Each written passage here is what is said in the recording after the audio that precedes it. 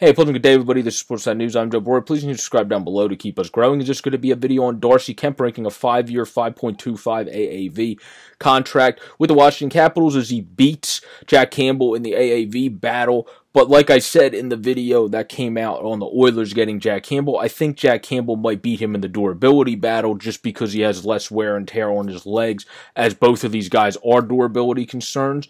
But let's get right into it. The Capitals did not just sign Darcy Kuemper. They also were able to bring in Charlie Lindgren for 1.1 million AAV for a three-year contract after he was able to merge with the Blues. So claps up to Charlie Lindgren. And I do think that really helps the planet because that's a big difference. I would say Campbell might win the durability battle between the top two goaltenders on the market this year because he has less wear and tear. But Kuemper already now with the signing of Lindgren has a very good B that seems like they can kind of platoon with each other. And Lindgren might be able to play that 20 to 25 games, maybe even 30, to take weight off of Kuemper. The Oilers only have Skinner right now, who I like more than their organization seems to, and think if he goes elsewhere, he might be able to have success to start as a third string and build his way up from there, more so than in Edmonton, who keeps burying him. But it doesn't seem like from past experience they have the most confidence in Stuart Skinner, so you would think they're going to make a move there.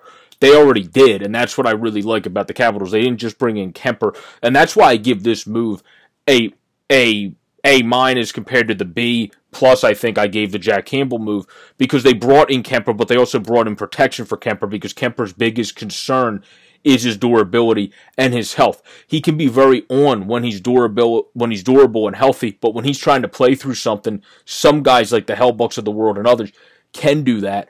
Other guys can't, and Kuemper usually fits in the category where he doesn't look too sexy trying to play through stuff. So I think getting Charlie Lindgren, that makes me move this into A minus because this has a chance to be a very good tandem.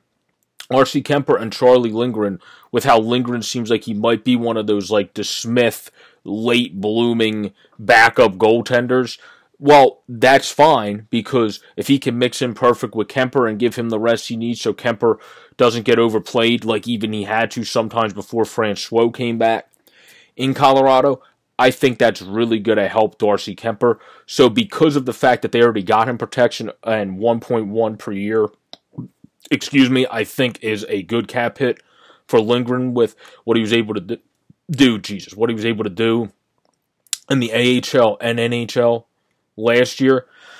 So to me, this is a good move. They protected Darcy Kuemper also, and they were able to bring in a guy in Kuemper, who seems like when at his best, he is a Vezina candidate goaltender. It's just we have to see him consistently stay at his best, and in order to do that, he has to stay healthy.